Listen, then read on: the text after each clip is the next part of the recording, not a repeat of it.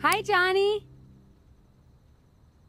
Hey, Paula. So how's school going? Pretty good. Social life? Who, Clay? No, that girl you've been after. What girl? The one we talk about all the time. You know, the one you've known your whole life, the brunette. She's smart, funny. She's the only one who knows the real you.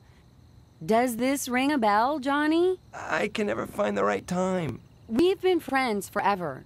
Just tell me her name, for goodness sakes. This is getting old. All right, Paula. You're right. It's time I told you.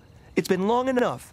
The person I've been in love with for as long as I can remember is. Hey, Paula. Oh, Chip, you're early.